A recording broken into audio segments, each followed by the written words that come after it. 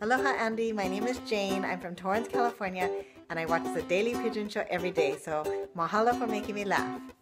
Shaka. Hey, how's it and welcome to the Daily Pidgin Show. It's the place to be to let the pidgin flow. The Daily Pidgin Show with Andy Bumatai. Mahalo nui loa to you for stopping by. Hey, how's it? And welcome to the Daily Pidgin. In this show, I like talk about the Eddie Aikau Memorial Surf Meet that went happen today or yesterday as you buggers stay watching this. Now, if you don't know who Eddie Aikau, here's a link to one show I did 45 shows ago explaining who he was. Okay? But anybody who's come to Hawaii has heard or seen Eddie Would Go. And that's Eddie, Eddie Aikau. Okay? Now, the Eddie, as it's known, is a surf contest that in the last 31 years has only happened nine times because the Aikau family, particularly Clyde Aikau, Eddie's um, younger brother, went work with Quiksilver and said, okay, we like make one memorial contest, but gotta be at Waimea, gotta be rideable, gotta be 20 feet plus the waves, which by the way is like 40 feet everywhere else in the world. And I love this part, the Aikau family gets to say who a few of the people in the contest are. And the reason for that is so that Hawaiians are not excluded from the contest. As odd as that may sound, okay? Because get some other contests for some reason get very few Hawaiians. And some people on the North Shore are very upset about that. They say, hey, you guys come in with all your money, your TV stations, your sponsorship, you cordon off the beach, say who can surf, who cannot surf. It's like you own the whole place. You come, you take the money, and you leave, and the Hawaiians get nothing. That's what plenty of people saying over there, okay? But the Eddie is not like that. By the way, plenty people think Eddie would go came from when Eddie, when try saved um, um, shipmates by trying for paddle to Lanai and was never seen again. But where it actually came from, as I understand it, okay, is the first Eddie, the very first one, 31 years ago, was too big. So they decided not to hold the contest. And Marvin Foster, on pro surfer, local boy, said, Too big. Come on, bruh. Eddie would go. And it stuck.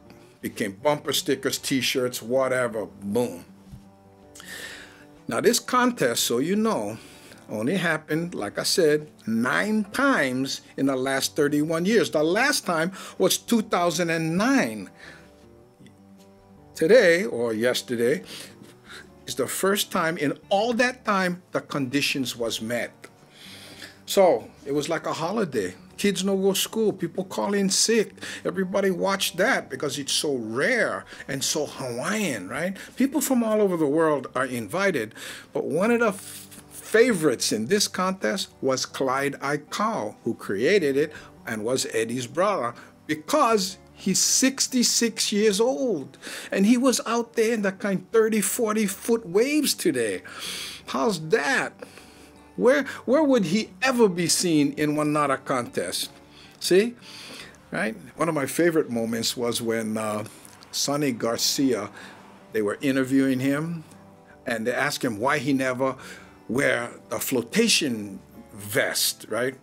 You have to understand, um, all the contestants are required, I'm sure some attorney and an insurance company came up with this, to wear this vest that has CO2 cartridges and rip cord. So if you get stuck under the water, you can pull the cord and whoop, and it brings you to the surface, right? But he never wear his.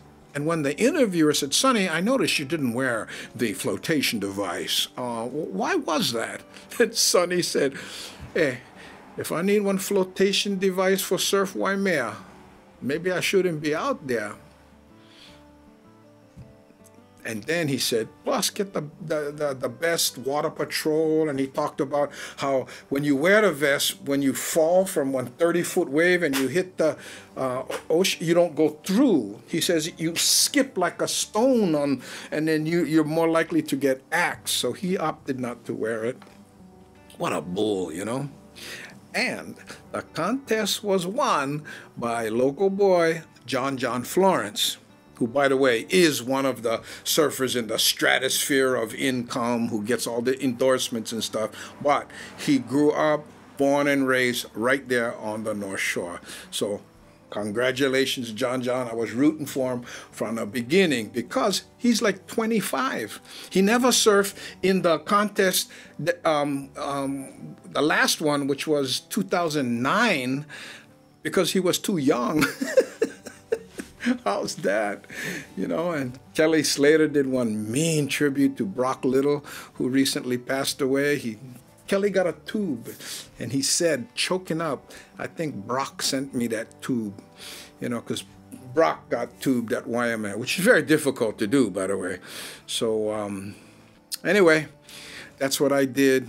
I went, caught out from work, and went virtually go to the beach kind of like high school. so if you watch the contest, hey, let me know in the comment section. No shame. False crack that like button, gang, and sharing is Karen. And what you gonna do when the subscribe button show face? That's right, gang. Block with your left and hawk them with your right. If you never already. And mahalo to those who have. Thanks, sir. Mahalo nui loa to you for stopping by. The Daily Pidgin Show with Andy Bumatai.